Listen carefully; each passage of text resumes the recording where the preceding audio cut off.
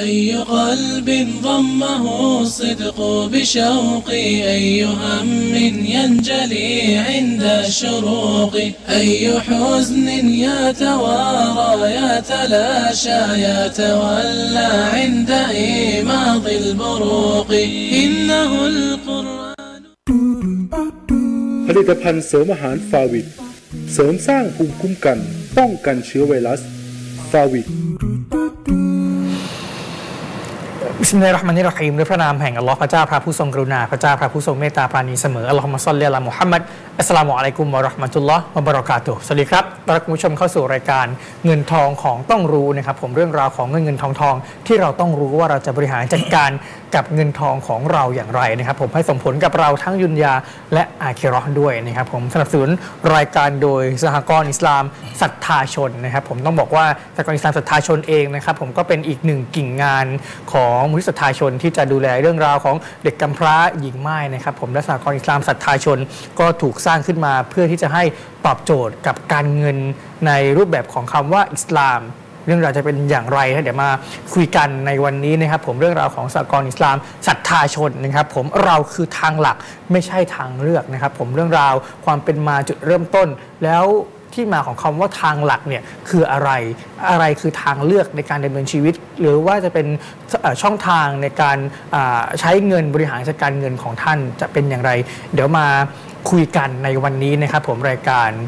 เงินทองของต้องรู้นะครับผมขอวันนี้ครับขอแสดงความเคารพและต้อนรับท่านวิทยากรประจำรายการวันนี้นะครับ ผมหมุนเวียนสเปลี่ยนมาพูดคุยกันนะครับ ผมอาจารย์อิสหากสุขสถิตมั่นครับผมเรียนเชิญทักทายพี่น้องครับالسلام عليكم ورحمة الله وبركاتهครับالحمد للهครับชุกรขอบคุณอัลลอฮ์นะครับ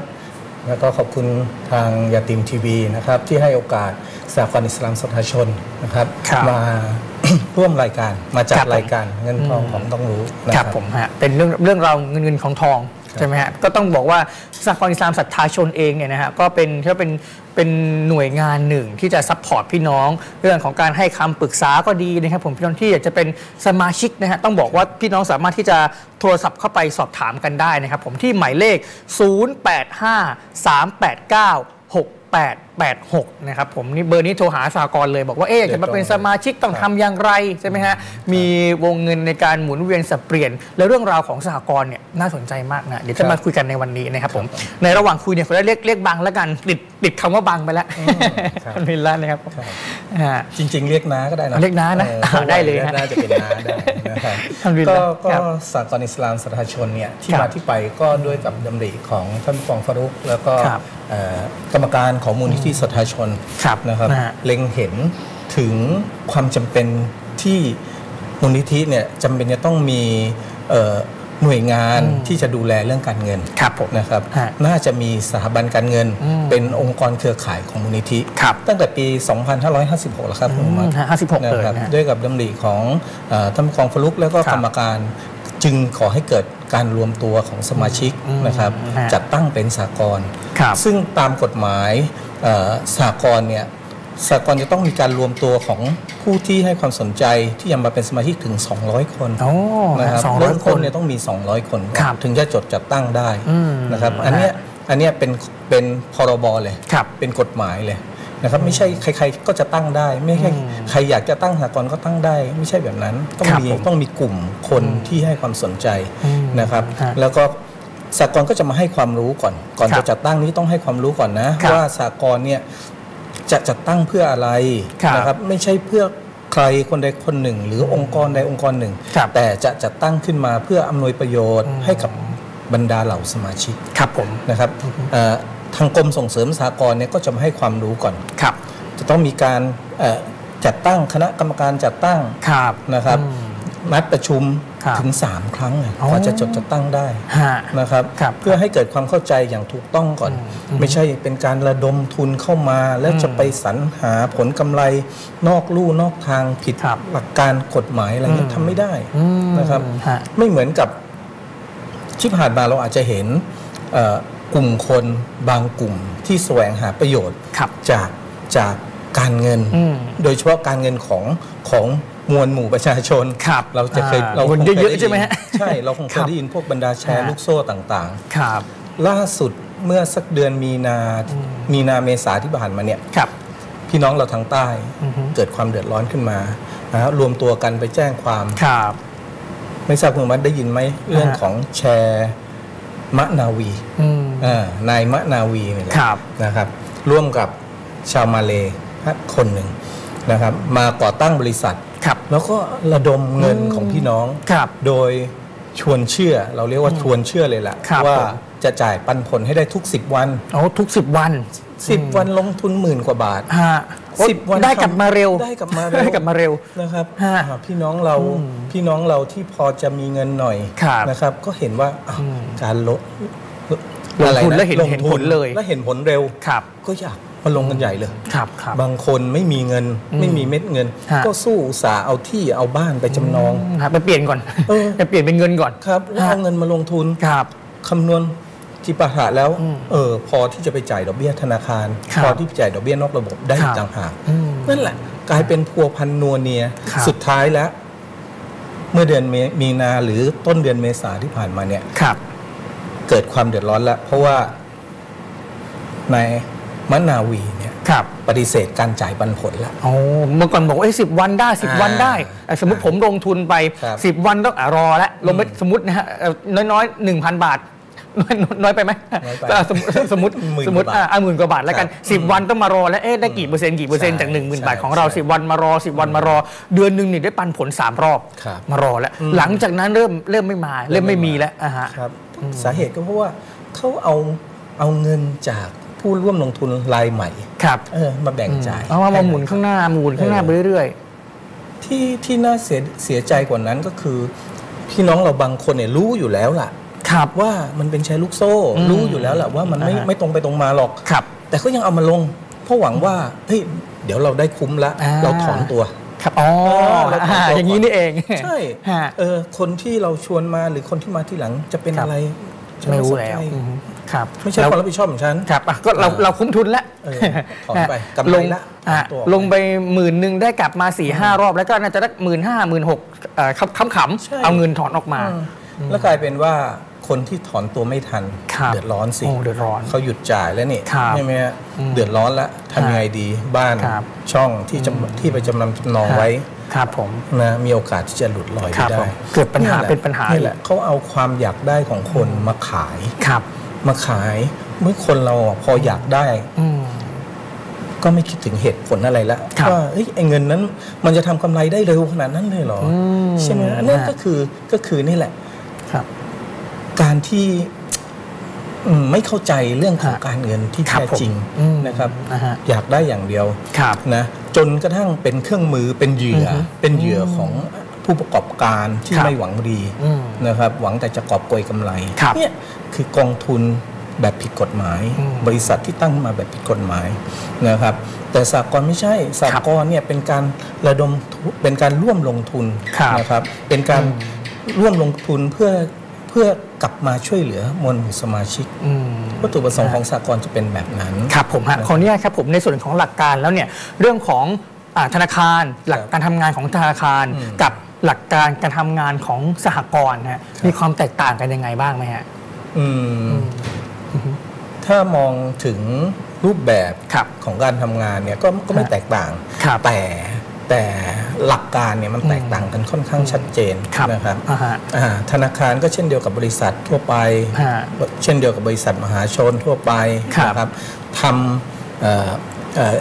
กิจกรรมทำธุรกิจก็เพื่อหวังผลกำไรครับผมนะครับหวังผลกำไรผลกำไรอ่าฮะให้กับให้กับเอ่อผู้ร่วมผู้ถือหุ้นครับถูกไหมฮะฮะให้กับบริษัทเขาอืมนะครับแต่สากลเนี่ยเอ่อดำเนินกิจการนะครับ เพื่อ ให้สมาชิกเนี่ยหนึ่งหนึ่งได้รู้จักการเก็บออมครับนะครับอือฮึสองช่วยเหลือสมาชิกในยามที่สมาชิกมีความจำเป็นต้องใช้เงินครับอันเนี้ยเป็นวัตถุประสงค์หลักอืมๆของสากลครับนะครับซึ่งแตกต่างจากธนาคารโดยสิ้นเชิงอืมนะครับฉะนั้นธนาคารก็เช่นเดียวกับบริษัทธุรกิจทั่วๆไปดำเนินงานเพื่อครับผลกำไรอืมจะคอรัอบกโปรดักต์อะไรออกมาครับก็ เล็งกำไรอย่างเดียวอืมกำไรไว้ก่อนเลยครับนะครับแต่เวลาขายโปรเจกต์เนี่ยฮะอ่าเวลาโฆษณาเนี่ยก็บอกอะเพื่อประชาชนอืมเพื่อผู้ฝากครับเพื่ออ่าอ่าแต่ว่าคือก็คือแต่จริงๆทำทำธุรกิจแล้วเพื่อก็คือเพื่อให้ได้กำไรเพื่อให้ได้กำไรใช่ไหมฮะนะฮะทีนี้ในหลักการการทำงานของของสหกรณ์ครับใช่ไหมฮะอืมการทำงานในรูปแบบสหกรณ์ครับเริ่มต้นทำงานกันยังไงฮะสหกรณ์เนี่ยจะต้องได้จะต้องมีอ่าคณะกรรมการครับ นะครับคือโดยคณะกรรมการเนี่ยต้องถูกคัดเลือกจากอ๋อสมาชิกในที่ประชุมใหญ่ครับนะครับจะต้องถูกคัดเลือกออกมาอืมอ่าอย่างน้อย 7 ท่านครับถึงอืม15 ของเราเนี่ยจะมีฮะ11 ท่าน 11 ท่านเลยครับอ๋อ ผมผมจำได้ว่ามีการจัดงานประชุมใหญ่สามัญประจำปีใช่ไหมต้องฮะมีทุกปีอ๋อฮะฮะมีทุกปีการจัดงานนี้ก็คือสมาชิกทุกคนเนี่ยจะมารวมตัวกัน แล้วก็จะมาเลือกคณะกรรมการใช่ใช่ไหมฮะ อันนี้คือเป็นวาระปีต่อปีไหมปีฮะต่อปีอ๋อหนึ่คงรับปีคจะรับต้องมีประชุมใหญ่ฮะสามัญหนึ่งครั้งครับนะครับเพื่อเพื่ออะไรฮะเพื่อให้เอ่อในเพื่อให้เอ่อสากลเนี่ยได้แถลงครับได้สรุป ผลการดำเนินงานของปีที่ผ่านมาครับนะครับว่าสากลดำเนินงานเป็นยังไงครัปบระสบผลกำไรหรือขาดทุนอืมกำไรเท่าไหร่ จะครับจ่ายปันผลให้กับสมาชิกได้เท่าไหร่ครับผมในวันประชุมใหญ่สามัญเนี่ยอืมเอ่อสากลจะมาชี้แจงแถลงข้อมูลทั้งหมดอืมซึ่งในวันนั้นเนี่ยถ้าสมาชิกเกิดความสงสัยครับนะครับ สามารถจะถามได้เลยอืมสามารถจะซักถามได้เลย ขอดูซิตรงนี้ครับเฮ้ยเลฉันมีความรู้สึก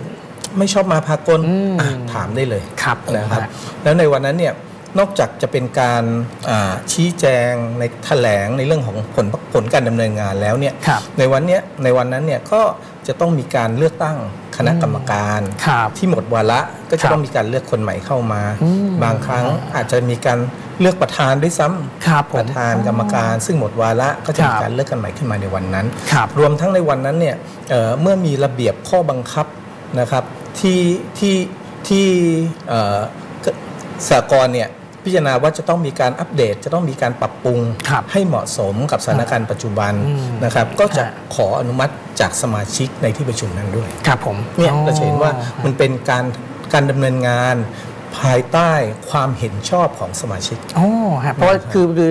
สมาชิกเนี่ยให้ความเห็นให้คำแนะนำแล้วก็สามารถที่จะมีคำถามชี้แจง ต้องมีรายละเอียดให้ใช่ไหมฮะครับคือสมาชิกทุกคนสามารถสามารถสอบถามได้รับทราบได้หมดใช่ครับอืมฮะทำงานภายใต้การดูแล มันจะแสดงแสดงให้เห็นถึงความโปร่งใสครับนะครับธรรมาภิบาลอืมที่แท้จริงเลยครับผมนะอันนี้ก็คืออย่างที่บอกว่าสเอ่อสมาชิกท่านใดที่มีความสงสัยตรงไหนเนี่ยก็สามารถที่จะใช้โอกาสนี้เนี่ยถามครับซักถามได้เลย มีมีหนังสือไหมมีเอ่ออะไรนะมีตัวเลขมาให้ดูเท่าไหร่ยังไงซักถามกันได้เลยครับแล้วก็หนึ่งสิ่งเลยคือเรื่องของการเปลี่ยนคณะกรรมการหมดวาระทุกปีเนี่ยเปลี่ยนครับใหม่เปลี่ยนใหม่เปลี่ยนใหม่ทุกปีเนี่ยถือว่าเป็นเป็นอีกหนึ่งสิ่งใช่ไหมที่ทำใช่ที่ที่ครับยืนยันได้นะใช่ครับถึงถึงถึงหลักธรรมาธิบาลที่ครับที่นาได้นำเรียนไปเมื่อข้างต้นนะครับผมฮะเนี่ยในอีกหนึ่งอย่างก็คือเรื่องของสหกรณ์อิสลามศรัทธาชนที่ได้นำเรียนไปเมื่อข้างต้น คือถูกสร้างขึ้นมาเพื่อที่จะให้เป็นองค์กรหรือเป็นเครื่องมือหนึ่งในการที่จะส่งเสริมภาคธุรกิจมุสลิม หรือว่าการเก็บเงินนะออมเงินของมุสลิมใช่ไหมฮะหลักการทำงานก็เหมือนกันเลยก็คือมีคณะกรรมการมีประธาน มีสมาชิกไม่ต่ำกว่า 200 คนใช่ไหมฮะครับแสดงว่าตอนนี้เนี่ยสมาชิกของสหกรณ์อิสลามศรัทธาชนเนี่ยครับ มีไม่ต่ำกว่า 200 คนตั้งแต่การดำเนินงานมาอ๋อฮะล่าสุดเนี่ยปัจจุบันเนี่ยมีสมาชิกอยู่หนึ่งหนึ่งพันสี่ร้อยกว่าคนอัลฮัมดุลิลละครับผมฮะเอ่อ1,000กว่าย้อนไปนิดนึงครับนอกจากมีกรรมการแล้วเนี่ยครับเรายังมีการตั้งอนุกรรมการอ่าฮะอันนี้คือเพื่อมาหรับน้าที่ผิอะไรดฮะชอบในครับในในในแต่ละฝ่ายอย่างเช่น อนุกรรมการด้านสินเชื่อครับนะครับ ก็จะมา จะมาเป็นทีมงานหนึ่ง ที่จะช่วยทางด้านผู้จัดการสหกรณ์นะครับในการในการวิเคราะห์สินเชื่ออมนะครับอย่างคุณฮะมัดมีครับมีมีกิจการครับเอ่อจัดอีเวนต์อืมนะครับครับคุณมันต้องการเงินทุนที่ครับจะไปรับงานอีเวนต์ครับนะครับเป็นฮะช่วงเป็นเงินทุน project สั้นๆครับ นะครับจบภายในเดือนกว่าอืมๆนะครับคุณมัดต้องการเงินทุนสักล้านห้าครับอ่าคุณมัดก็มาคุยกับสหกรณ์สหกรณ์ก็จะจะใช้คณะอนุกรรมการเนี่ยครับอืมมาอิ interview สัมภาษณ์เอามาสัมภาษณ์ก่อนมาสัมภาษณ์อ่าคุณมาขอข้อมูลใช่ครับครับมาเก็บผมข้อมูลว่าคุณมัดมีอะไรบ้างครับไม่ใช่มีแค่ไอเดียอืมนะครับฮะไม่ใช่มีแค่อ่า บริษัทจดทะเบียนอยู่ในครับมือฮะอะคุณมัดมีประสบการณ์เป็นยังไงอืมผ่านงานด้านนี้มาขนาดไหนครับนะครับสำหรับ project นี้ใครเป็นเป็นคู่สัญญาครับคู่สัญญามีความมั่นคงทางการเงินแค่ไหนอืมเนี่ยคณะอนุกรรมการจะมาพิจารณาครับเป็น step step บางครั้งเนี่ยเอ่อคณะอนุกรรมการกลับ ให้คำแนะนำอืมกับฮะสมาชิกที่ครับจะทำโปรเจกต์ได้ซ้ำไปครับผมนะครับอ๋อเพราะในคณะกรรมการของเราเนี่ยจะประกอบด้วยเอ่ออดีตพนักงานธนาคารครับอดีตอืม ผู้จัดการธนาคารเรียกว่าเป็นผู้ทรงคุณวุฒิเลยครับนะเป็ฮะนผู้ทรงคุณวุฒิครับแล้วผมก็ฮะเอ่อมีประสบการณ์ในการครับดำเนินธุรกิจในการทำงานมาฮะนะครับเชี่ยวชาญในแขนงนั้นๆ ที่จะมาดำรงเขาเรียกว่าใช่อยู่ในตำแหน่งของอนุกรรมการ ที่จะใช่คอยครับพิจารณาในในฝ่ายต่างๆใช่ไหมใช่เหมือนที่นาได้นำเรียนไปเมื่อข้างต้นอย่างเช่น เรื่องของสินเชื่อ ผมอยากจะเอ่อมีงานอีเวนต์ใช่ไหมฮะอืมก็มาคุยกัน อยากจะเอ๊ะมีอยาก อยากจะมีร้านกาแฟสักร้านหนึ่งอืมก็จะมาคุยกันคือนอกนอกจากคุยแล้วเนี่ยจะให้เรื่องของคำปรึกษาคำแนะแนะนำนำใช่ไหมได้เนี่ยด้วยเอ้าใช่กาแฟเนี่ยเอ่อควรจะต้องอยู่ทำเลที่ไหนยังเป็นไงยังไงโอ้อ่าฮะคือมันเล็งครับทำเลอยู่ที่ไหนนะอืมอ๋อครับใกล้มหาวิทยาลัยนะอ่าอ๋อดีครับนี่ผมอะไรฮะต่างๆเราก็อ่าจะมาช่วยกันวิเคราะห์ครับถ้าโอเคเอ่อประเมินออกมาแล้วเนี่ยครับมีความเป็นไปได้สูงที่ธุรกิจครับมันจะไปได้อืมนะครับครับเออจะมีกำไรสักเท่าไหร่ครับนะครับจะสามารถคืนได้ในระยะเวลาเท่านี้จริงไหมอะไรต่างๆเนี่ย คณะอนุกรรมการเราจะวิเคราะห์แล้วเราครับก็ถึงจะพิจารณาอนุมัติอ๋อนะครับจะครับเป็นลักษณะผมฮะการทำงานแบบเนี้ยครับว่าไปแล้วก็ไม่แตกต่างจากธนาคารอืมธนาคารก็จะมีนะครับมีทีมเหมือนกันใช่ไหมครับครับ แต่ละสาขาก็จะมีฝ่ายสินเชื่อครัมีบแผนกสินเชื่อของแต่ละสาขาครับโดยมีรองผู้จัดการสาขาคุมอืมงานด้านสินเชื่อก็จะมาครับดูแลโฟกัสเฉพาะงานด้านสินเชื่อครับนะครับของสหกรณ์ก็เหมือนกันก็เหมือนกันมีมีองค์ถูกต้องเขาเรียกว่ามีอนุกรรมการมีคณะกรรมการทำงานใช่ไหมฮะอืมแล้วก็มีทีมงานที่จะคอยให้คำแนะนำให้คำปรึกษาเป็น consult ให้เราด้วยใช่ครับนะครับผมฮะแล้วนอกจากคณะกรรมการแล้วมีอนุกรรมการแล้ว ในการทำงานต้องมีอะไรเพิ่มเติมอีกไหมฮะก็ของเราเป็นสหกรณ์อิสลามอะนะครับครับ เรามีบอร์ดชาริอะห์อ๋อครับที่จะมาบอร์ดชาริอะห์พิจารณาตั้งแต่ product ของเราโปรดัครักบด้านสินเชื่อเป็นยังไงฮะสอดคล้องกับหลักการศาสนาไหมครับนะครับฮะโปรดักด้านด้านด้านเงินฝากเป็นยังไงครับอ่าอ่าผลตอบแทนที่จ่าย เอ่อเงินฝากให้กับสมาชิกครับเออหาล้านถูกต้องอืมนะครับฮะเนี่ยจะออกผลิตภัณฑ์อะไรเนี่ยเราก็ครับจะมีเอ่อบอร์ดชริอะห์ครับวิเคราะห์ตรวจสอบครับนะครับให้อยู่ในหลักการอืมแม้กระทั่งเอ่อถ้าลูกค้าสินเชื่อผิดนัดชำระหนี้ครับอะอืมเราจะเรียกกำไรเพิ่มได้ไหมอ๋อฮะเอ๊ะมันจะกลายเป็นดอกเบี้ยหรือเปล่ามันจะกลายเป็นดอกเบี้ยหรือเปล่าคตรบงเนี้ยเราก็จะต้องอะ ฟัตวาเองไม่ได้อ่เราก็นั่นต้อน่ะงสิส่งฮะให้บอร์ดให้บอร์ดชริอะห์ห์ครับครับผมอะเรื่องราวของผู้เชี่ยวชาญทางด้านของ Islamic Finance เข้ามาดูแลครับในส่วนนี้ใช่ไหมการเงินอิสลามเนี่ยว่าอย่างไงการลงทุนมีหลายรูปแบบเลยใช่ไหมฮะครับมีมูโดโรบะมีโอ้โหหลากหลายเลยอ่าฮะนะครับอืมอธิบายง่ายครับมูรอบาฮะก็คือการการเอ่อให้สินเชื่อซื้อสินค้านะครับอย่างเช่นคุณมัดอยากจะออก ฟอร์จูเนอร์ตัวใหม่อ่าสักคันหนึ่งเอ่อสักคันหนึ่งครับผมนะครับฮะคุณมัดมีมีทุนอยู่ก้อนหนึ่งละ2องแสนห้าครับที่เหลืออีกอีก8ปดแสนครับจะขอจะขอใช้บริการสากลฮะนะครับครับสากลก็จะอะไรครับทำการซื้อมาให้ซื้อมาให้อ๋อซื้อมาให้สากลก็จะซื้อมาให้ โดยสากลจะบวกกำไรครับนะครับ บวกกำไรเข้าไป7%ครับรวมเป็นเงินแล้วเท่านี้คุณมัด สามารถผ่อนได้ในอ๋อระยะเวลา 36 เดือนครับ48 เดือนอืมนะครับจะเป็นลักษณะแบบเนี้ยก็คือครับเป็นการคิดกำไรบวกเข้าไปในตัวในตัวสินสินค้าค้านะครับครับ แล้วคุณมัดก็ผ่อนชำระให้กับสหกรณ์เป็นระบบการซื้อขายสินค้าอ๋อเงินผ่อนครับอันเนี้ยผมอยู่ในหลักการศาสนาครับผมส่วนอีกรูปแบบหนึ่งสินเชื่ออีกรูปแบบหนึ่งก็จะเป็นเรื่องของการมูรอดอบะอ่ามูมูดอรอบะครับมูดอรอบะการร่วมลงทุนครับนะครับเนี่ยอย่างเช่นคุณอมัด อะไปเห็นไปเห็นอพาร์ตเมนต์หลังหนึ่งอ่าฮะคุยโครงการล่าสุดเลยได้ได้ได้เลยไหมฮะ อันนั้นก็เป็นมูรอบะฮะอ่าเป็นเหมือนกัน อันนั้นเอ่อมูโดโรบะหรือเปล่าฮะมูรอบะฮะคืออ่าไปซื้อครับวัสดุก่อสร้างอ๋อ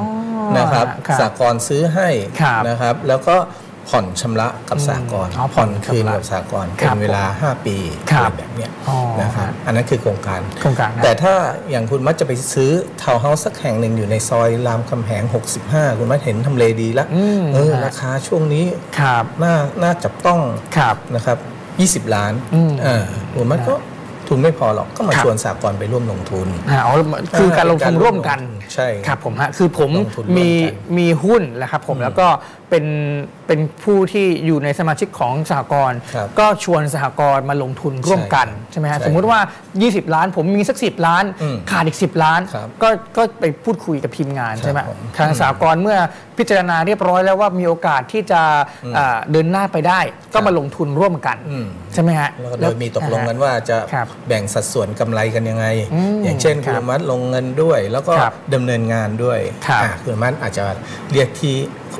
ขอแบ่งสัดส่วนครับกำไร70อ่าฮะอ่าสากลลงเงินอย่างเดียวครับถ้ากำไรออกมาแบ่งให้สากล30ครับอ่าจะเป็นลักษณะแบบเนี้ยอืมมูดอรบามูดอรบาการร่วมลงทุนครับผมมูดอฮะรบานะแล้วแล้วของเนี่ยครับผมในส่วนของกำไรเนี่ยนะฮะที่ได้ในส่วนของการลงทุนครับตรงนี้เนี่ยก็จะกลับไปสู่สมาชิกใช่ไหมฮะใช่ครับอ๋ออครับผมฮะกำไรเนี้ยก็จะกลับไปสู่สมาชิกนะครับ โดยสากลก็จะหักค่าดำเนินงานอะไรต่างครับๆนะครับเสร็จแล้วก็ ไปจัดสรรเป็นปันผลให้กับสมาชิกอืมนะครับ อันเนี้ยก็ครับคือรูปแบบการดำเนินธุรกิจของสากลครับผมอ๋อถ้าเจอคือแสดงว่าเงินปันผลที่ได้มารายปีเนี่ยไม่ได้เกิดจากดอกเบี้ยครับ ใช่ไหมฮะเกิดจากเกิดจากการลงทุนการลงทุนของครับของสมาชิกทุกคนเนี่ยที่มีเงินฝากในในในรูปแบบของสมาชิกของสหกรณ์ครับมีการลงทุนมีมีพี่ผู้ประกอบการที่ใช้ใช่บริการของสหกรณ์สหกรณ์มองเห็นและพิจารณาเรียบร้อยแล้ว ก็นำเงินส่วนนี้มาลงทุนร่วมกันครับผมได้ผลกำไรมาก็จะมาตัดแบ่งในรายปีใช่ตัดเป็นกี่เปอร์เซ็นต์เป็นใช่ไหมฮะปันผล ให้อ่ากับให้กับผู้ถือหุ้นให้กับสมาชิกที่ถือหุ้นเลยนะครับครับผมฮะแล้วขออนุญาตนิดนึงครับผมในส่วนของคำคำว่าทางหลักกับทางเลือกเนี่ยอ๋อเอ๊ะในส่วนของเอ๊ะบ้านเราเนี่ยธนาคารใหญ่ ๆ ที่พอจะให้เราได้เนี่ยเอ๊ะจะเป็นทางหลักหรือเปล่า สหกรณ์เนี่ยน่าจะเป็นทางเลือกสำหรับเราหรือเปล่าฮะอืมเป็นยังไงครับผมเมื่อก่อนเราเข้าใจว่าเออสากลครับน่าจะเป็นทางเลือกนั่นน่ะให้กับสิพี่น้องมุสลิมครับนะครับ แต่แต่วันเวลาที่ ที่ผ่านไปเนี่ยมันครับทำให้เราได้คำตอบว่าจริง ๆสากลไม่ใช่ทางเลือกนะสากลเป็นทางหลักเลยล่ะครับนะครับที่จะทำให้พี่น้องเนี่ยเงินทองของพี่น้องเนี่ยครับฮาลานถูกต้องอืมนะครับฮะถูกต้องตั้งแต่ต้นจนปลายครับผมนะครับอ่าคือพี่น้องที่มีเงินฝากเนี่ยมาฝากกับสากลได้รับค่าตอบแทนได้รับผลตอบแทนกลับไป ด้วยกับเงินที่ฮาลานครับนะครับ ซึ่งแน่นอนต่างกับ ไปฝากสถาบันการเงินอื่นครับนะครับฝากกับธนาคารอืมยังไงก็หลีกหนีไม่พ้นเรื่องของดอกเบี้ยใช่ไหมครับครับหรือถ้าบอกว่าอ๋อเราฝากกระแสรายวันอืมเพื่อหมุนเวียนอ่าฮะในการดำเนินธุรกิจครับนะครับ ฝากได้อืมนะแต่สุดท้ายแล้วเนี่ยอะผู้ที่ได้รับประโยชน์ก็คือใครครับธนาคารอืมใช่ไหมครับครับผมฮะอืมแล้วก็แต่ฝากกับสากลเนี่ยครับเอ่อสมาชิกได้รับผลประโยชน์ นะครับ เต็มอืมๆนะครับครับผมฮะทั้งกำไรปันผลที่ได้รับแล้วเนี่ยระหว่างทางระหว่างปีที่สากลเนี่ยได้เอาเงินของพี่น้องเนี่ยนะครับแบ่งเป็นสองส่วนนะครับส่วนหนึ่งนี่เอาไปดำเนินในส่วนของกิจการที่จะทำให้เกิดกำไรงอกเงยครับและอีกส่วนหนึ่งนี้เป็นการช่วยเหลือสมาชิก เรามีเรามีเงินยืมครับ ประเภทเงินยืมฉุกเฉินก็ดุนครับฮัสซันเนี่ยอืมเป็นเงินยืมที่ให้สมาชิกยืมเมื่อสมาชิกหนึ่งคลอดลูกสองค่าเรียนบุตรครับถึงความจำเป็นที่จะต้องใช้เงินครับไม่ต้องไปกู้นอกระบบ แบบเร่งด่วนเลยนะครับใช่หฮะไม่ต้องไปกู้นอกระบบ ครับอ่าหยิบยืมตรงนี้สากลไม่คิดผลกำไรอืมครับฮะยืมหครันึ่บงหมื่นผฮก็ครับชำระคืนคืนหนึ่งหมื่นนะครับครับอันเนี้ยผมเป็นเป็นการช่วยเหลือพี่น้องสมาชิกที่เขาเดือดร้อนครับเพราะฉะนั้นเงินของอูมัตที่ฝากไม่ว่าจะฝากหุ้นหรือฝากครับประจครับำกับสหกรณ์เนี่ยได้ผลประโยชน์อืมนะครับทั้งกำไรที่กลับมาและผลบุญครับที่ได้อ๋อเออให้พี่น้องได้ได้หลายทางเลยใช่ไหมฮะครับเนี่ยเนี่ยเนี่ยเป็นเป็น บางทีบอกว่ามันไม่ใช่ทางเลือกและครัสาบกลเนี่ยมันคือทางรอดครับผมนะครับ ยิ่งถ้าเรามีกิจการเราจำเป็นครับต้องใช้เงินอืมหมุนเวียนต้องใช้เงินสินเชื่อแล้วเราก็ครับสหกรณ์เป็นทางรอดเนี่ยทางเดียวเลยอืมนะครับฮะเพราะว่าอะถ้าเราไปใช้สินเชื่อโดยเราคำนึงว่า อ๋อ ธนาคารพาณิชย์ครับเขาคิดอ่าเท่าไหร่เท่าไหร่เท่าไหร่ไม่กล้าเรียกดอกเบี้ยฮะเขาบอกเออเขาคิดกำไรน้อยกว่าครับสหกรณ์อีกอืมเออ ซึ่งความเป็นจริงแล้วของเขามันคือดอกเบี้ยครับนะครับคำว่าดอกเบี้ยกับคำว่าผลผลกำกำไรไร มันแตแตกกต่างกันอยู่นะแล้วครับนะครับผมฮาระฮาล้านฮารอมอืมชัดเจนอยู่ครับแล้ผวมนะครับอืมถ้าเราอะผู้ประกอบการเราคำนึงถึงครับเออต้นทุนฮะต้นทุนเงิน ต้นทุนการดำเนินงานครับนะครับ เห็นว่าดอกเบี้ยธนาคารอืมจ่ายน้อยกว่าครับที่ เออมาจ่ายกำไรให้สากลอืมนะครับฮะแล้วยังไงล่ะอะไปใช้เงินก้อนนั้นมามาลงทุนลงทุนครับอ้าวกลายเป็นว่าเราไปเป็นไปยุ่งเกี่ยวด้วย ใช่ กิจการของครัเราบนั้น มันก็กลายเป็นกิจการที่ไม่หลานแล้วครับเพราะว่าใช้เงินทุนที่มีดอกเบี้ยครับเนี่ยเพราะฉะนั้นสากล อิสลามเท่านั้นแหละที่เป็นทางรอดของพี่น้องมุสลิมครับผมนะนะครับคือเรียกว่าออกห่างจากคำว่าดอกเบี้ยไปเลยเนี่ยแล้วก็ใช่จะหมดหมดคำถามเลยนะพี่น้องจะคือถึงถึงช่วงทีหนึ่งก็จะโทรมาหาเอ่อปรึกษาอาจารย์ อาจารย์เอ่อดอกธนาคารให้ดอกเบี้ยมาไปทำอะไรได้บ้าง ไปทำข้าวต้มเลี้ยงคนในหมู่บ้านได้ไหมมันเป็นดอกเบี้ยเอ่อออาจารย์บอกใช้ไม่ได้แต่เขาให้มาแล้วไม่รู้จะทำยังไงดีเนี่ยเป็นปัญหาอีกฮะจนจนกระทั่งมี มีหลายคนหลายหน่วยงานที่ตั้ง แล้วก็ประกาศออกมาว่าเออฮะเขาจะเขารับที่จะบริหารดอกเบี้ยเนี่ยไปสร้างทางสาธารณะอ๋อออะไรต่างครับๆซึ่งซึ่งตรงนั้นเขาก็เจตนาดีอะเนาะอืมเอครับอแต่มันถ้ามองอีกมุมหนึ่งก็เหมือนกับอ้าวกลายเป็นว่าส่งเสริมให้อ๋อคนฝากเงินกับครับธนาคารเหรออมใช่ไหมครับเกิดดอกเบี้ยไม่เป็นไรเดี๋ยว องค์กรนี้จัดการให้ครับตกลงว่าตกลงแล้วไอ้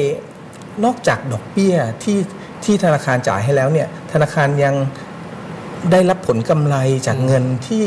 พี่น้องเราไปฝากอีกอะครับ เข้าใจดอกเบี้ยมันนั้นมันเศษเศษๆแต่ผลกำไรที่เขานำเงินที่พี่น้องฝากนั่นน่ะครับไปขยายกิจการอืมดอกเบี้ยครับตั้งเท่าไหร่อืใช่ไหมครับอ่าฮะอืมครับผมเขาให้เงินฝากพี่น้องอะเต็มที่ปีหนึ่ง1.5 ฝากประจำครับ ให้เต็มที่ละ 1.75 ในช่วง2องปีที่ผ่านมานี้อ่าอันนี้เยอะเลยนะครับครับ แล้วก็เขาไปปล่อยสินเชื่อเท่าไหร่ครับอืมครับ ดอกเบี้ยบัตรเครดิตอะครับ28%ต่อปี แล้วไม่ใช่คนสองคนนะครับอืมครับนะครับ คนอีกครึ่งค่อนประเทศนะที่ครัต้องบไปจ่ายครับดอกเบี้ยให้กับเขาอะเขากำไรกันมหาศาลด้วยกับอะไรกันด้วยกับเม็ดเงินฝากของเนี่ย ถ้าเราบอกว่าอ๋อเราฝากเพื่อความปลอดภัยครับนะครับไอ้ดอกเบี้ยมาเราไม่ใช้หรอกเราอืมโยนไปให้เอาไปทำถนนองค์กรที่เขาทำอะไรไปทำถนนหนทางครับเอออก็กลายเป็นว่าพอมีองค์กรแบบนั้นมาครับ เหมือนกับจะส่งเสริมให้ให้พี่น้องยังคงฝากอยู่กับธนาคารพาณิชย์ได้ครับผมถูกอะครับคุณหมันอืมใช่ไหมนั่นสิฮะจริงครับเออจริงคลรัอบงผลอมงคิดด้วยตักกะนี้ดูสิครับผมนะนะแล้วเมื่อไหร่อะระบบดอกเบี้ยมันจะหมดไปจาก เราจะได้ไม่ต้องไปเจอเขาเรียกว่ามาสัมผัสกับครับดอกเบี้ยนี่ใช่ไหมฮะเราหาเรียกว่าเป็นสิ่งต้องห้ามสำหรับเราเลยใช่ทีเดียวครับนะครับผมเราถึงเราถึงเอ่อรู้สึกมั่นใจกับคำนี้ว่าสากลอิสลามคือทางรอดอืมไม่ใช่ทางเลือกครับจริง ๆ ประโยคเนี่ยมาจากพี่ประดิษฐ์คุณพี่ประดิษฐ์สุขถาวรครับ พี่ประดิษฐ์เนี่ยเป็นอ่าอดีตประธานอืมอ่า กรรมการสากลสัทธชนด้วยครับปัจจุบันก็มาเป็นที่ปรึกษาอยู่อะไรอยู่นะครับฮะเอ่อวันนั้นครับพี่ประดิษฐ์แล้วก็ทีมงานของสากลเนี่ยมาเยี่ยมคารวะท่านผู้กองท่านผู้กองครับอ่าเราคุยกันแล้วก็พี่ประดิษครับฐ์ให้โอ้โห ประโยคนี้ครับ ฟังฟังแล้วแบบเออใช่เลย เป็นที่มาของเรื่องราวที่เราจะมาคุยกันเลยนะใช่ไหมฮะใช่ครับครับผมครับเป็นสากลอิสลามเป็น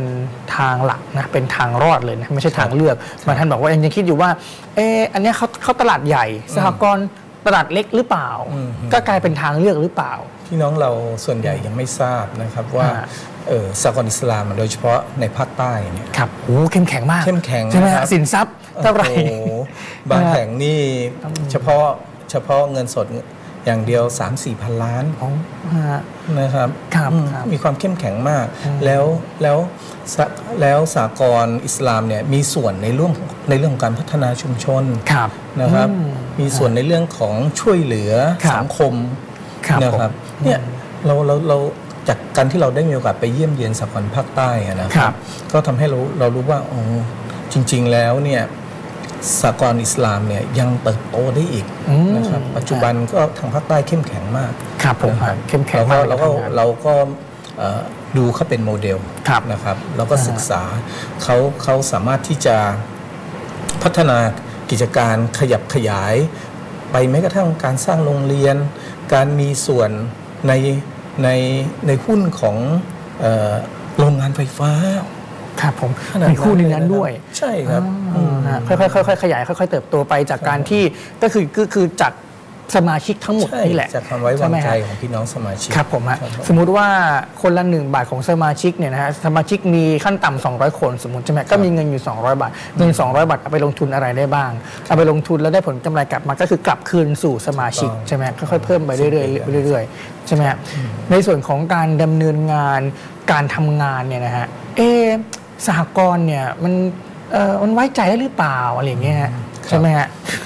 ก็อย่างที่เรียนคุณธรรมทราบแหละว่าครับอ่าสากลเนี่ยตั้งขึ้นมาตามกฎหมายครับพะอ๋อมีกฎหมายบัญญัติสากลรองรับรองรับครับนะครับฮะเอ่อมีหน่วยงานราชการครับที่คอยกำกับดูแลเราอืมนะคครัรับบฮะเอ่อมีกรมส่งเสริมสหกรณ์ขึ้นอยู่กับกระทรวงเกษตรและสหกรณ์เนี่ยครับนะครับจะ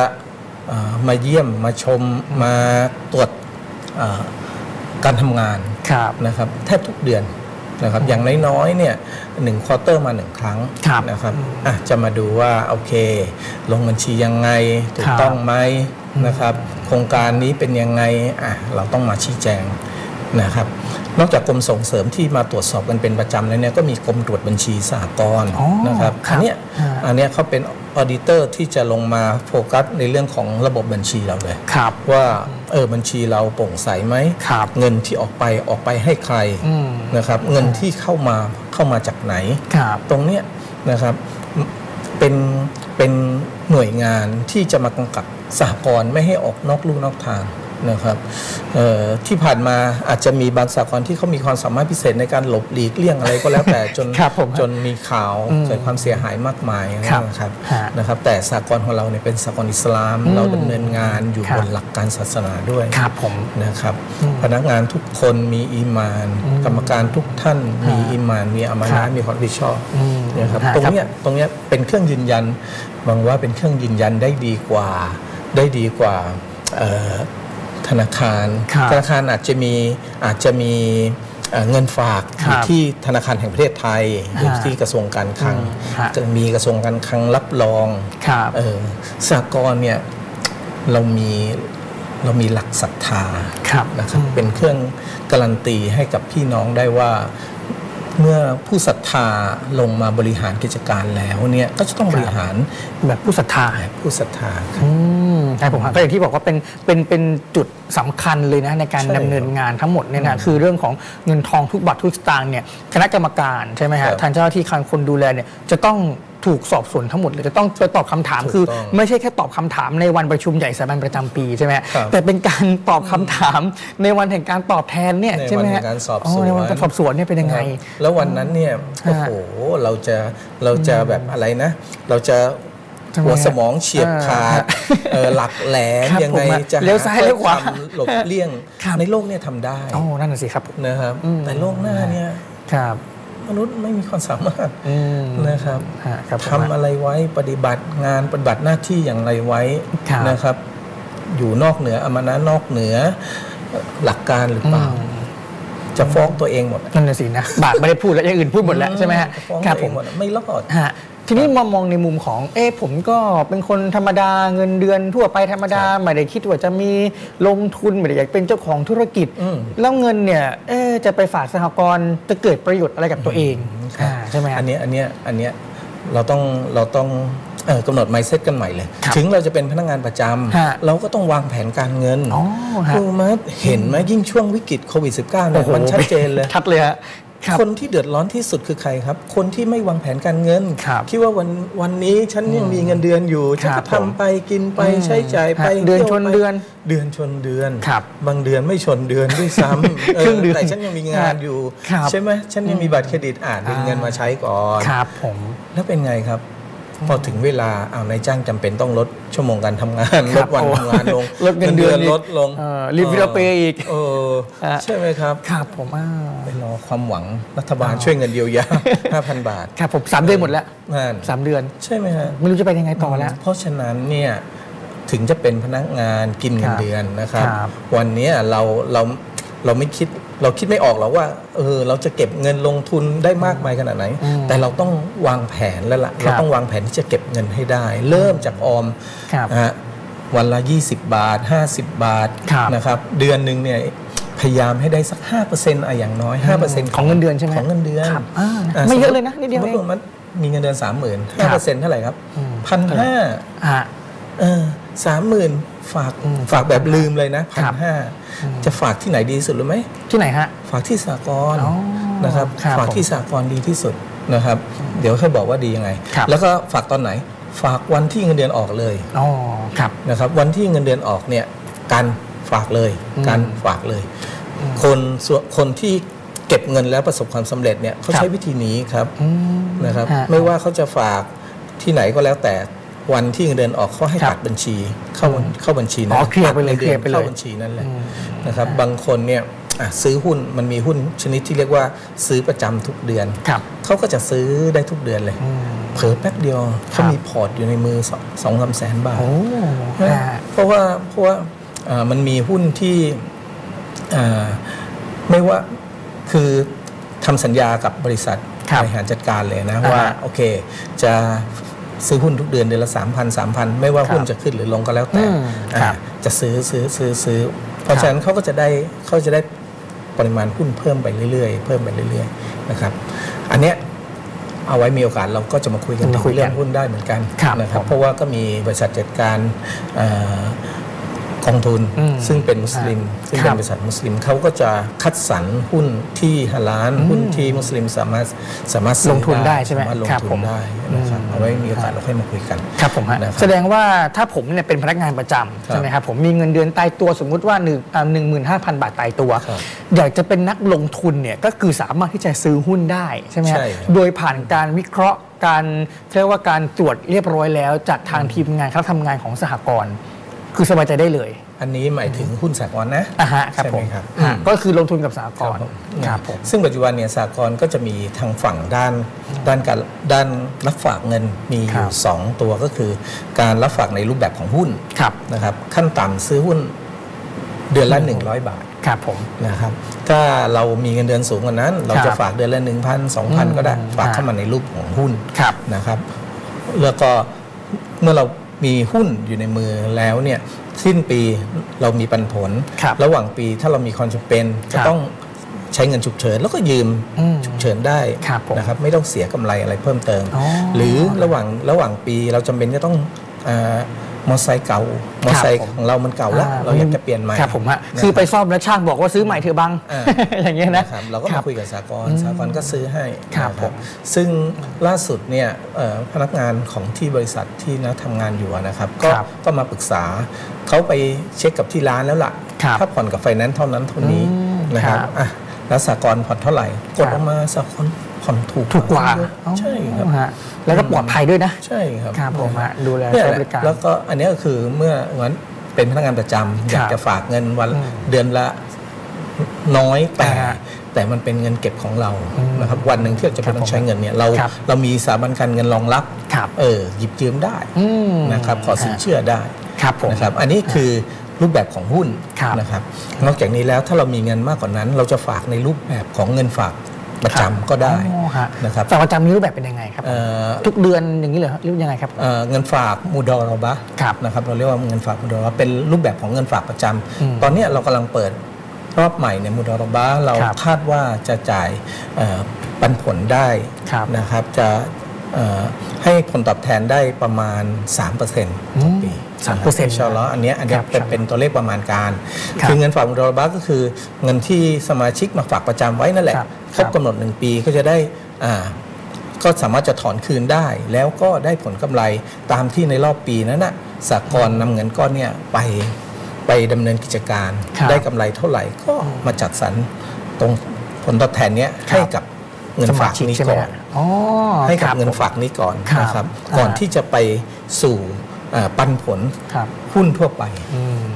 อ๋อ คือมี 2 รูปแบบผมใช่ไหมฮะครับผมครับผมในส่วนของการลงทุน จะเป็นรูปแบบของเงินฝากเพื่อการคลรับงทุนอ๋อนะครับเงินฝากกับสากลและสากลก็เอาเอาเงินฝากตัวเนี้ยไปลครังบทุน อันนี้คือเพื่อเพื่อการลงทุนโดยเฉพาะเลยใช่ครับใช่ไหมฮะใช่อ๋อ ครับผมทีนี้คือคือเอ๊ะไม่มีความรู้ทางด้านการลงทุนเลยแบ่ง 4% 5%อะไรเนี่ยไม่รู้เรื่องอะไรเลยครับนะอืมทำยังไงดีทีนี้ก็ก็ก็มาคุยกันเอาเข้ามาคุยกับสากลนะครับครับผมบางทีบางทีเอ่อน้องที่อยากจะเริ่มฝากเงินเนี่ยเขาก็จะมองว่าเออจะคุ้มไหมครับนะครับถ้าจะมาฝากกับสากลจะคุ้มไหมครับนะครับเราก็มาคุยกัน แล้วก็ซึ่ง ไม่ใช่แค่ปัจจุบันนะคหรับลายปีที่ผ่านมาเนี่ยเอ่อเงินฝากเงินกับบริษัทเอ้ยกับธนาคารพาณิชย์เนี่ยครับผลตอบแทนเงินฝากประจำธนาคารพาณิชย์เนี่ยน้อยกว่าอ๋อฮะกับครับกับการลงทุนของสหกรณ์ด้วยกับอ่าใช่ครับครับ ฝากกับคสรับหกรณ์นี้ได้มากกว่าอืมนะครับ ลองคิดดูง่ายๆเลยว่าในเมื่อผลตอบแทนก็มากกว่าครับแล้วก็เป็นผลตอบแทนที่ฮาลาลด้วยอะครับอืมเรายังจะไปเลือก ฝากครักับบธนาผมคารพาณิชย์อีกเหรออ๋อฮะครับผมครับใช่ไหมเมื่อเมื่อเมื่อช่วงช่วงกลางรายการเนี่ยเห็นนะครับนะนะบอกว่าอืมฝากเงินกับสหกรณ์เนี่ยอืมมันดีนะครัฮะบดีที่สุดเลยอืมอะไรคือจุดที่บอกว่าฝากเงินกับสหกรณ์แล้วมันดี อือฮึอืมก็เมื่อกี้ก็เกรินไปบ้างแล้วล่ะอ่าฮะนะฮะบอกว่าบางส่วนนอกจากแล้วผลตอบแทนที่ได้รับแล้วเนี่ยครับเงินของเราเนี่ยยังช่วยให้พี่น้องของเราเนี่ยอือฮึได้เอาไปต่อยอดอืมได้อะ ถูกไหมครับเป็นผู้ประกอบการครับเป็นสมาชิกด้วยเป็นผู้ประกอบการด้วยใช่ไหมครับครับผมก็มายืมเงินของสหกรณ์เออก็คือเงินฝากของพี่น้องนี่แหละครับเออเอาไปลงทุนในกิจการอืมทำให้กิจการของมันน่ะมีผลครับกำไรงอกเงยมาครับเออแล้วก็ที่สำคัญคือคุณมันไม่ต้องไปกู้นอกระบบไม่ต้องไปเสียดอกเบี้ยธนาคารอืมนี่ไงครับผมฮะก็ด้วยกับเงินเกิดประฝากโยชน์ของนะสมาชิกแหละครับผมฮะใช่คือเหมือนกับเป็นครับคือถ้ามองรวมๆแล้วคือพูดกันแบบบ้านๆคือก็คือ พี่น้องช่วยเหลือกัน ใช่ใช่ไหมฮะอันนี้คือหลักการสากลเลยแหสละหกรณ์เลยใช่ไหมฮะรวมมารวมรวมกันแล้วมาช่วยกันช่วยเหลือกันอ่าถูกต้องฮะมาช่วยเหลือกันคือจากจากจากเงินเล็กเงินน้อยเงินเล็กอืมน้อยของแต่ละคนมารวมกันก็เป็นกลายเป็นเงินเงินก้ก้ออนนใหใหญ่ญ่เงินก้อนใหญ่สามารถที่จะไปช่วยเหลือได้ใครได้หลาย ๆ คน ใครได้ได้หลายคนที่เราไปช่วยเหลือเขามาเนี่ยวันหนึ่งเขาสามารถที่จะมีผลกำไรขึ้นมากลับขึ้นมาสู่เงินก้อนใหญ่เงินก้อนใหญ่ก็สามารถที่จะไปช่วยเหลือคนต่อไปได้เรื่อย ๆ อีก คือเราคือวินวินยูวินไอวินวีวินใช่ครับใช่ไหมฮะ อย่างโครงการที่ล่าสุดที่เพิ่งเปิดครับเปิดโครงการไปอ๋อเมื่อสักเมื่อตอนอะเมื่อต้สันกครู่นี้ใช่ไหมตรงช่วงเข้ารายการช่วงเข้ารายการใช่ไหมก็มีฮะคลิปนะครับเดี๋ยวตอนท้ายเดี๋ยวเอ็อะเดี๋ยวเปิดให้ฟังอีกรอบหนึงอ่าเดี๋ยวไปให้ดูอีกรอบหนึงนะครับฮะเป็นเป็นคโครัรบงการที่สากลเนี่ยนะครับอ่าได้ไปร่วมลงทุนนะครับในรูปแบบของมูรอบาฮะอืมการ renovate ครับผมฮะอพาร์ตเมนต์สุขทาวรซึ่งอพาร์ตเมนต์เดิมเนี่ยอ่าสร้างมา 30 กว่าปีแล้วอืมครับนะครับ แล้วได้ไปดูโครงการตั้งแต่เริ่มต้นเลยฮะครับเห็นความทรุดโทรมเห็นอืมความของอาคารนะครับครับ แล้วก็อะจริง ๆ แล้วเนี่ยเอ่อเครดิตของของที่สมาชิกรายเนี้ดีอยู่แล้วอืมนะครับธนาคารมาครับจีบโอ้โหเนื้อหอมเลยาเนื้อหอมเนี่ยใครไปใครมาใช่ครับคเนื้รัอบหอมเลยนะครับ ธนาคารหลายธนาคารมาจีบครับแต่ก็ด้วยกับความที่เขาไว้วางใจนะครับสหกรณ์นะครับอืมเขาเลือกที่จะมาใช้บริการกับสหกรณ์นะครับเอา ใช้เงินที่ให้ให้บรรดาสมาชิกเนี่ยอะครับร่วมกันครับคนที่มีเงินอะมาลงมาลงขันกันครับนะครับเพื่อที่จะลงทุนกับโครงการเนี้ยนะครับแล้วก็อะไรฮะโครงการนี้อ่าได้ดำเนินการครับจนสำเร็จลุล่วงอืมนะครับฮะในการก่อสร้างในสิเดือนครับนะครับการเบิกจ่ายเงินเป็นไปตามหลักเกณฑ์อืมนะเดือนฮะต่อเดือนครับหนึ่งเดือนที่หนึ่ งงวดงานจะต้องทำอะไรบ้างอืมนะคอ๋รัอคือบอกพถึงำหนบดอกเลยว่าต้องทำอะไรบ้าง ต้องเสร็จให้เรียบร้อยต้องเสร็จฮะอ่างวดที่หนึ่งอะครับทำอ่าปูพื้นครับอ่าปูกระเบื้องอะไรต่ออะไรเงี้ยแบ่งเป็นงวดงวดๆไปเลยครับปูกระเบื้องชั้นหนึ่งปูกระเบื้องอืมชั้นสองอะไรต่ออะไรฮะนะครับ แล้วเราก็มีทีมงานคณะกรรมการของสากลเนี่ยทีมงานอนุกรรมการด้านสินเชื่อเนี่ยเข้าครับไปตรวจรับงานทุกเดือนทุกงวดอ๋อถึงจะฮะจ่ายเงินออกไปครับเป็นแสดงว่าเราสามารถที่จะเรียกว่าเอ่อ ควบคุมงบประมาณใช่ได้ครับข้อที่หนึ่งข้อที่สองคือเป็นไปตามเอ่อเขาเรียกว่ารูปแบบที่มีการกำหนดเอาไว้ใช่ครับแล้วก็ข้อที่สามเนี่ยคือเป็นไปตามระระยะเวลาระยะเวลที่มีการตกลงกันไว้ด้วยอืมอ๋อไม่ฮะใช่อ๋อตกลงเซ็นสัญญาเรียบร้อยโยนเงินไปตู้มหนึ่งเข้าไปครับทำอะไรต่ออะไรอะไรก็ไม่รู้ไม่รู้เรื่องนะครับครับเนี่ยผมของเราของเราเอ่อบริหารจัดการอย่างเป็นระบบครับนะอ่าโครงการสำเร็จรุ่ร่วงออกมาทำดีละสวยงามโมเดิร์นทันสมัยอ่านะแล้วก็มีผู้คนอยากจะไปใช้บริการครับผมทีนี้คนที่ร่วมลงทุนด้วยฮะครับจะเกิดประโยชน์อะไรบ้างฮะก็ในสำหรับคนที่มาร่วมลงทุนเนี่ยครับก็เอ่อเขาก็จะได้รับเอ่อปันผลครับนะครับผลตอบแทนนะครับทุกปีเอาทุกปีครับใช่ครับอ่านะครับจะมากกว่าที่ เงินฝากทั่วไปของครัสาบกลด้วยซ้อ่าฮะำนะครับอย่างเช่นเอ่อปีที่ 1 ปีที่2เนี่ยจะได้ครับ2.5 พอปีที่ 3 ปีที่ 4 ก็ขยับไปเป็น 3.5 4%รวมแล้ว 5 ปีเนี่ยเขาได้กำไรทั้งหมดที่สมาที่จะที่สมาชิกที่มาลงเนี่ยนะจะได้ถึง 20%โอ้โหยี่สิบเปอร์เซ็นต์ใช่ครับ เฉลี่ยแล้วเฉลี่ยปีละเฉลี่ยสี่เปอร์เซ็นต์นะครับ ซึ่งอ่าซึ่งเอ่อโดยโครงการทั่วไปเนี่ยครับเราจะได้ไม่ถึง4%ต่อปีครับนะครับอ่าฮะอะบาง บางบางบางบางปีก็จะจ่ายปันผลได้แค่2%ครับ3%อย่างรอบรอบใหม่ที่เราเปิดเนี่ยฮะก็แค่ 3%ต่อปีอืมนะครับฮะนะครับเนี่ยครับคนที่มาลงโครงการพิเศษอย่างโครงการสุขทาวรอย่างเงี้ยอะครับก็จะมีอัตราผลกำไรที่สูงขึ้นอ่าอันเนี้ยก็เนื่องจากครับผมการที่อ่าทางโครงสมาชิกที่เป็นเจ้าของโครงการเนี่ยครับเขาทำกำไรมากเขาเขา แบ่งกำไรก็แบ่งกันให้มากครับผมนะครับจะเป็นอ๋อลักษณะเนี้ยข้อดีของการที่มามาร่วมลงทุนครับในโครงการพิเศษอืมนะครับก็จะมีครับข้อดีแบบเนี้ยครับผมก็แสดงว่าถ้าจะมาเป็นสมาชิกเนี่ยเป็นได้ในหลาย ๆ รูปแบบเลยใช่ไหมใช่ครับอย่างที่เออฝากเงินรักษาไว้เฉย ๆ ไม่ได้ไม่ได้ทำอะไรเลย ก็ได้จะก็คือมาฝากเงินไว้แต่ว่าเงินเนี่ยเงินจะฝากรักษาทรัพย์รักษาทรัพย์ใช่ไหมฮะใช่ทางสากลก็จะดูแลเป็นอย่างดีเลย ก็จะสามารถที่จะมีเงินปันผลที่จะนำไปลงทุนได้ในบางส่วน แต่ว่าในประเอ่อเรียกว่า โปรดักที่2เนี่ยคือเรื่องของการลงทุนเฉพาะเฉพาะใช่ไหมอะอย่างเช่นมีโครงการมีโครงการมีโครงการก็ไปร่วมกันลงทุนเพื่อให้เกิดประโยชน์งอกเงยขึ้นมาอีก แล้วก็ที่สำคัญเลยคือปลอดภัยจากดอกเบี้ยนะฮะใช่ในช่วงท้ายนี้ฮะอยากจะให้น้าได้ฝากถึงพี่น้องที่ติดตามรับชมในขณะนี้ครับผม ก็สำหรับโครงการเงินฝากมุดอรบะที่เปิดตอนเนี้ยครับนะครับอยากจะฝากให้พี่น้องเนี่ยเอ่อมาร่วมกันครับนะครับ มาร่วมกันฝาก เพื่อที่สากลเนี่ยจะได้นำเงินเนี้ไปต่อยอดครับนะครับไปต่อยอดให้พี่น้องสมาชิกเราเนี่ยได้ดำเนินกิจการต่อนะครับมีพี่น้องที่เป็นสมาชิกที่เป็นเอ่อผู้ประกอบการธุรกิจ มีพี่น้องที่เป็นพ่อค้าแม่ค้านะครับในช่วงที่ผ่านมาเขาประสบสถานการณ์โควิดครับ19 ใช่ไหมฮะฮะทำให้ธุรกิจหยุดชะงัก ทำให้การค้าขายหยุดชะงักทำให้รายได้ต้องถดถอยไปอ๋อครับผมนะครับฮะแต่จากเดือนต่อไปเนี้ยทุกอย่างจะเริ่มดีขึ้นละทุกอย่างเริ่มปลดล็อกละเริ่มขายของได้ละกิจการเริ่มมีมีธุรกิจเริ่มดำเนินการต่อได้ละเนี่ยแน่นอนในช่วง4-5เดือนที่ผ่านมานี่ ทุนที่เขามีอยู่เนี่ยเป็นไงฮะเขาต้องใช้ในการยังชีพครับมันได้ล่อยหลอมันได้หมดไป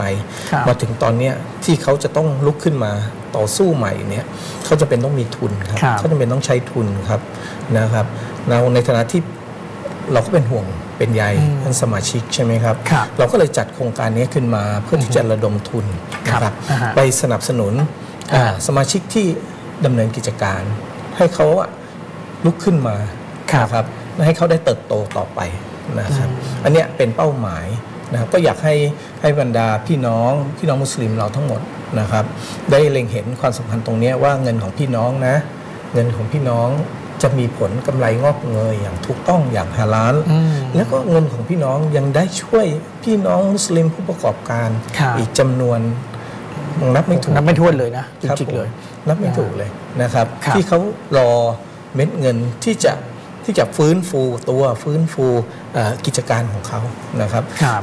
เราเราพร้อมจะสนับสนุนเขาโดยที่ผ่านมาเนี่ยเราก็มีคอร์สอบรมนะครับอ่าครับเตรียมความพร้อมครับเรื่องของการตลาด เรื่องของการจัดอีเวนต์เรื่องการการไปออกร้านในงานอีเวนต์นะครับเรื่องของการขายออนไลน์ ช่องทางการจำหน่ายสินค้าต่างครับๆรวมไปถึงให้ความรู้เพิ่มเติมในเรื่องของการเงินอืมวางแผนการเงิน ช่วยเขาวางแผนการเงินครับเนี่ยสากลร่วมเอ่อ ให้เขาขนาดนั้นเราไม่ใช่ครับแค่บอกว่าเราให้กำลังใจกันนะอืมเราไม่ใช่แค่เอ่อตบหลังเออตบหลังเอ่ออดทนเดี๋ยวมันก็ผ่านไปเดี๋ยวมันก็ผ่านไปไม่ใช่แค่นั้นครับเออเรามีกิจกรรมที่จะช่วยเหลือเขาครับแล้วก็เดินหน้ากิจกรรมที่จะหาเม็ดเงินที่จะไป support ที่จะไปสนับสนุนเขาให้เขาลุกขึ้นมายืนใหม่อืมนะฮะครับผมคุณผู้ชมพันนี่คือเรื่องราวของคือจริง ๆ แล้วเนี่ยทางหลัก ทางรอดเนี่ยก็คืออย่างที่ได้นำเรียนไปเมื่อข้างต้นนะครับผมครับจริง ๆ แล้วเนี่ยบางคนบอกเอ๊ะมันสาวกรน่าจะเป็นทางเลือกหรือเปล่า แต่ถ้ามาได้ รับฟังเรื่องราววันนี้เนี่ยเห็นโอกาสนะในการครับดำเนินงานของเราเองในการลงทุนของเราเอง ในการรักษาทรัพย์ของเราเองทำยังไงให้เกิดประโยชน์ แล้วก็ส่งผลกับเรา ส่งผลไม่ใช่แค่ในดุนยาโอ้โหมีเงินฝากเยอะแยะมากมาย แต่ส่งผลอาคิเราะห์คือเราได้ช่วยเหลือซึ่งกันและกันนะฮะใช่ครับวันไหนก็ตามที่รู้สึกว่าเอ้ยบาดเจ็บอุเป็นอุบัติเหตุขึ้นมาเกิดปัญหาขึ้นมา เราก็ยังมีกองทุนตรงเนี้ยซึ่งซึ่ง ในรูปแบบของเป็นพี่น้องกันที่จะนำมา support มาช่วยเหลือเราในส่วนนี้ได้เช่นเดียวกันนะครับผมสำหรับวันนี้เนี่ยนะครับขอบคุณมาก ๆ เลยนะครับผมคุณนิสหาสุขสถิตมั่นนะครับมาพูดคุยกับเราในวันนี้รายการเงินทองของต้องรู้โดยสหกรณ์อิสลามศรัทธาชนนะครับผมคุณผู้ชมสามารถที่จะเป็นสมาชิกได้นะครับผมเพียงแค่โทรเข้าไปที่เบอร์ 085 389 6886 นะครับผมมั่นคงในหลักการบริการด้วยน้ำใจ ปลอดภัยจากดอกเบี้ยนะครับผมจนกว่าจะพบกันทุกค่ำคืนวันศุกร์เลยนะครับผมหนึ่งทุ่มหรือประมาณจนถึง2องทุ่มหนึ่งชั่วโมงที่จะมาคุยกันมาแลกเปลี่ยนมาแบ่งปันกันนะครับผมในเรื่องของการบริหารจัดการเงินทำอย่างไรให้งอกเงย โดยที่เรานั้นห่างไกลจากดอกเบี้ยนะครับผมขอบคุณอีกครั้งหนึ่งนะครับผมผู้ชมที่ติดตามรับชมนะครับจนกว่าจะพบกันทุกค่ำคืนวันศุกร์หนึ่งทุ่มถึง2องทุ่มวันนี้นะฮะเราทั้งสองคนลาไปก่อนจนกว่าจะพบกันในรายการเงินทองของต้องรู้โดยสหกรณ์อิสลามศรัทธาชนครับอัสสลามุอะลัยกุมวะเราะห์มะตุลลอฮ์วะบะเราะกาตุฮ์ يتلاشى يتولى عند إيماض البروق إنه القرآن